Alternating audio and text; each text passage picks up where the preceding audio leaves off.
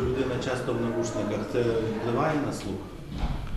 Це залежить від того, які наушники. Якщо наушники, які закривають повністю раковину, і гучність не є надмірною, то вони не є шкідливі. Ті навушники, які вводяться в слуховий хід, вони можуть спричинити певну, певні, певну шкоду для внутрішнього вуха. Чому? Тому що наушник, який має маленький розмір, він обтурує слуховий хід, і між навушником і барабанною перетинкою створюється надмірний так, так званий акустичний тиск.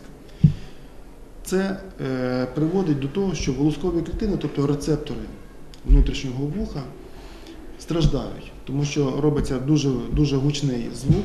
Тривалість цього звука може бути протягом дня, як молодь носить навушники. І мимоволі, мимоволі протягом е, місяців, протягом років відбувається погіршення функції так званих волоскових клітин, рецепторів внутрішнього вуха. Що теж? що проявляється зниженням слуху. Е, ну, Bluetooth наушники.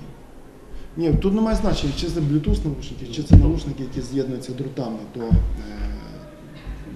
до якогось пристрою.